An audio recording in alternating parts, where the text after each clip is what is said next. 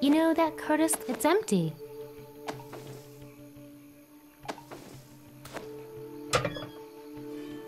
Oh, and now you're decorating me like a Christmas tree?